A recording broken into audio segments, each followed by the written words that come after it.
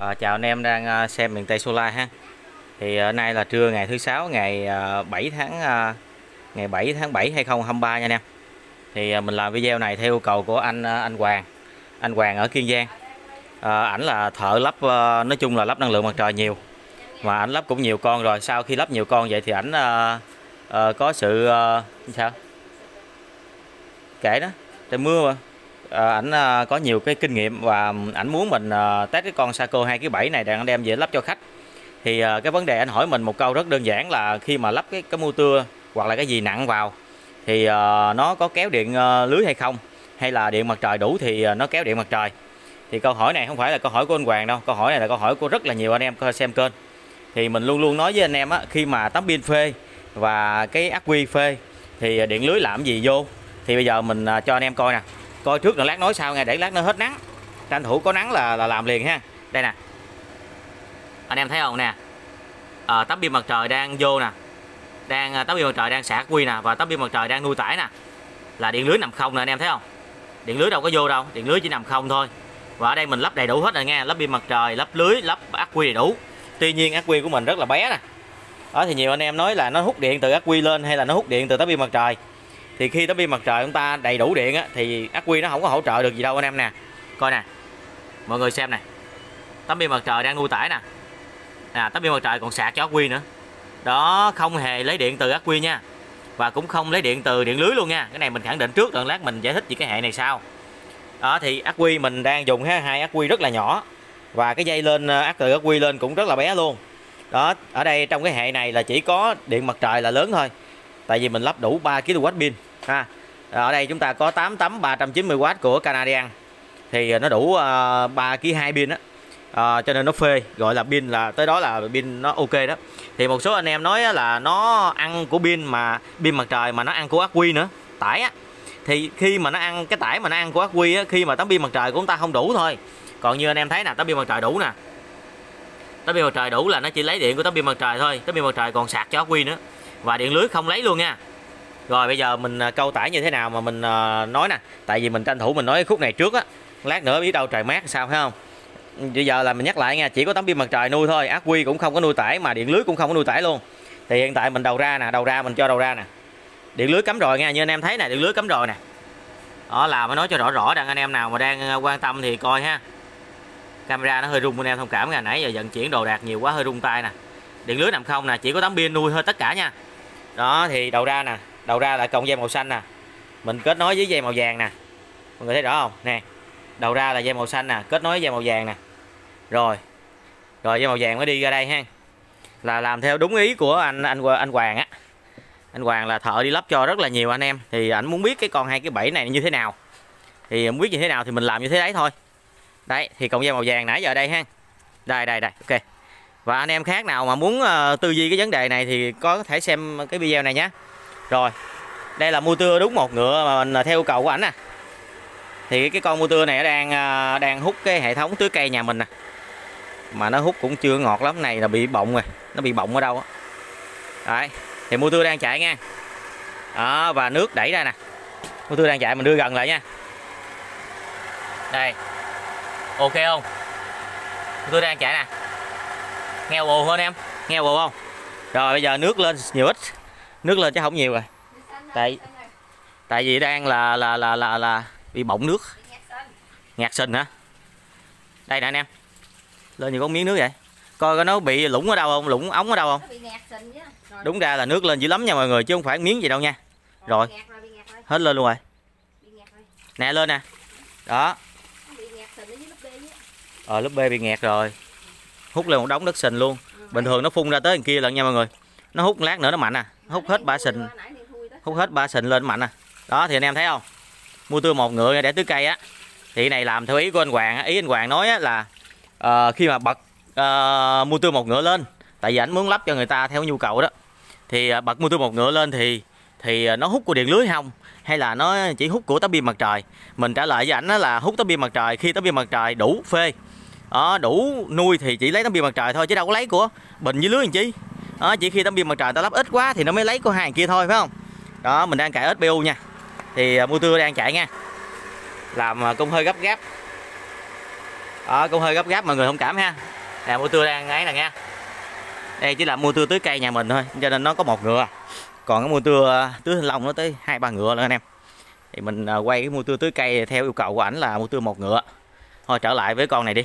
Thì hiện tại ngoài trời đang nắng nè đó, và với 3 kg 2 pin thì nó ra tệ lắm cũng được 2 kg 6 2 kg 7 điện. Cho nên là mình không có có có lăn tăng cái vấn đề mà tấm pin mặt trời thiếu nữa nha. Tấm pin mặt trời là không có thiếu. Đấy. Hy vọng là video này sẽ giúp ích được cho một số giải đáp của một số anh em thợ đó.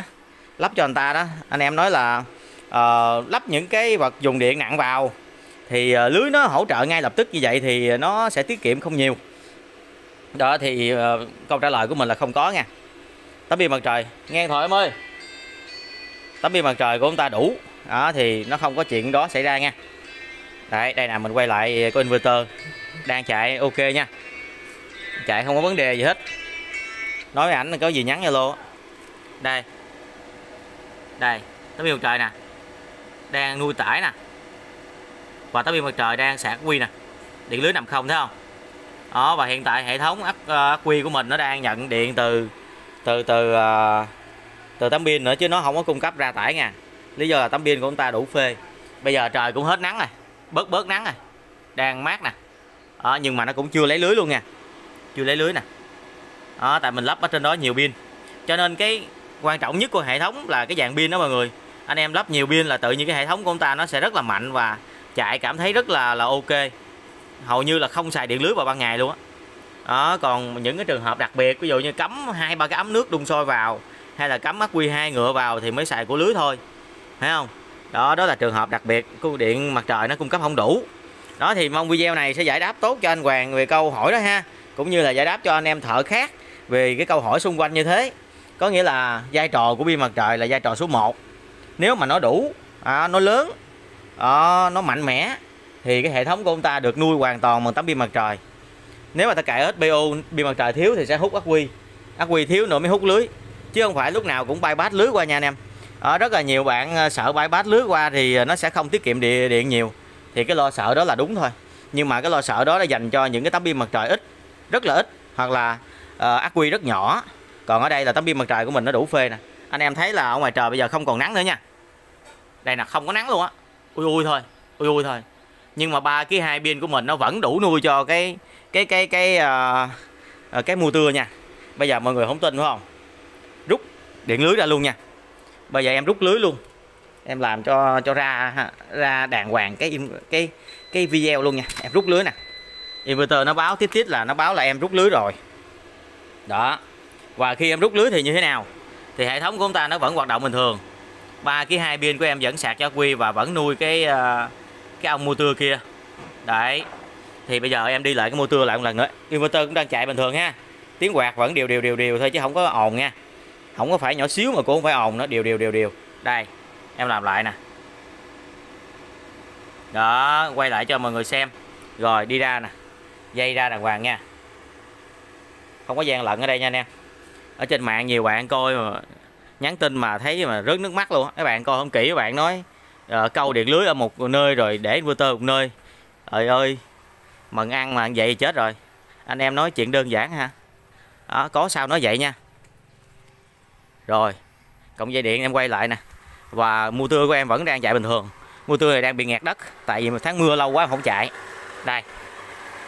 Đó, bình thường nó lên nhiều nước lắm bữa nay nó nghẹt đất lên ít nước. Đây. Đó ok cho anh em. Motor vẫn chạy đều đều, nước vẫn lên. Motor để ba, bốn tháng rồi mới bắt lên đó mọi người, nhưng mà nó vẫn lên nước. Đây. Đây, nó đây. Cái giò nước. Rồi nó hết lên rồi. Cái ống nó bị bọng ở đâu đó, nó lên lại rồi anh em. Đó.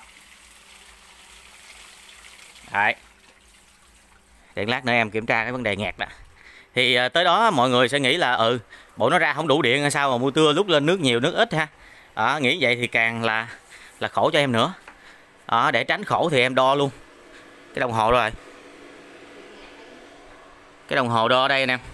Em đo điện đầu ra cho mọi người xem luôn nha chứ để mua tưa lên vậy cái à, mọi người lại nói em ấy. Nè đưa đưa cho đây. Cắm vô cái đầu ra. Rồi coi bao nhiêu vô nha. Xem này 229V cực kỳ chuẩn luôn nha. Không có nhảy luôn nè. Anh em thấy không? Đầu ra 229V nè.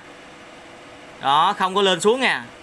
Cái vụ mà lên nước ít nước nhiều nãy là do mua tưa chứ không phải do cái gì hết nha mọi người. đừng nghĩ vậy tội nghiệp em nha. Cái này là em đo cái đầu ra nha chứ không phải đo cái đầu ờ, điện lưới vào. Điện lưới vào là rút ra rồi nha. Đó, lưới rút nằm dưới kìa. Đó, rút lưới rồi cái này không có chạy lưới nha. Đó. Đây đầu ra nè. 229,8V chuẩn rất là chuẩn luôn đó chứ không phải mà à, điện lúc mạnh lúc yếu như cái dòi nước nãy đâu nha mọi người không có nha. Cái đó là do bị nghẹt ra tắt thì để trái của tưa luôn á. Nó nghẹt uh, đất ở dưới rồi thôi mình uh, chắc đến đây thì kết thúc rồi. Mong mà mình up video này mình sẽ gửi cho anh Hoàng cũng như là các anh em thợ xem về cái vấn đề mà mạnh mẽ lợi hại của dàn pin nó quan trọng như thế nào nha. Thôi xin chào anh em. Đam mê thì hãy liên hệ mình nhé.